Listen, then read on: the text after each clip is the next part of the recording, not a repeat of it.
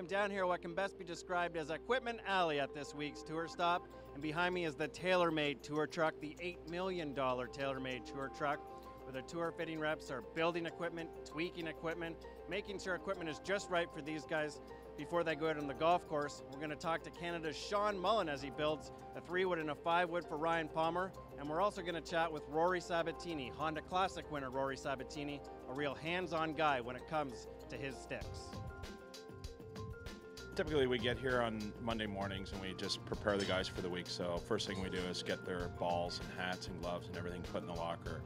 And then we start working with the players on whatever typical problem they might have that week or what they're looking for that week. Sometimes, uh, depending on the golf course, they might want to put a, a, rescue in play.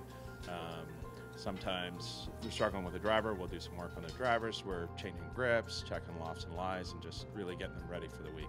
So it's almost like a made to order type of thing. Like a player comes in here and he might have any type of issue, and you just try and figure it out as best you can. Yeah, pretty much. I mean, there's some guys that are really in tune with their equipment. Um, some guys are a little less, so we'll work, um, you know, on our own what we think they need. Uh, the other guys like Retief Goosen, who likes to be hands-on.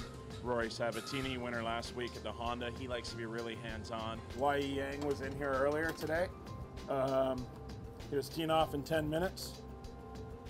And again, another guy that just wanted to get into the new product in a fairway wood, and we built him a driver in about eight minutes, had it in his hands, and he took it out on the golf course. You know, these guys, um, you know, they're, they're really good at what they do, and um, you know, just like NASCAR and Formula One drivers, you know, these guys are up pit and we come in here to get uh, any fine tuning done that we need to get done, and you know, they're they're really good at uh, you know getting uh, getting things churned out pretty fast and helping us really get the most of our performance.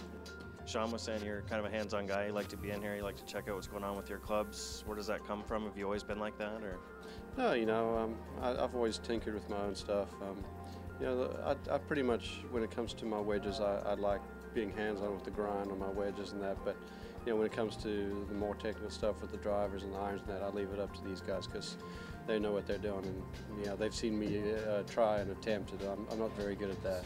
I actually grew up in Kingston, Ontario. I was a club pro uh, for many years, and I got involved with a uh, shaft company, which brought me out here to do uh, be a rep for the shaft company. Uh, I've been out here for about 11 years, and six years with TaylorMade Adidas Golf Canada, uh, and TaylorMade Adidas Golf Canada needed someone to represent them on the tour uh, and give back information to, to our office there on how products were performing, what things we're doing. Usually do about 38 tournaments a year, so depending on what month it is, January and February, obviously that's the launch of our new product. It's our busiest time.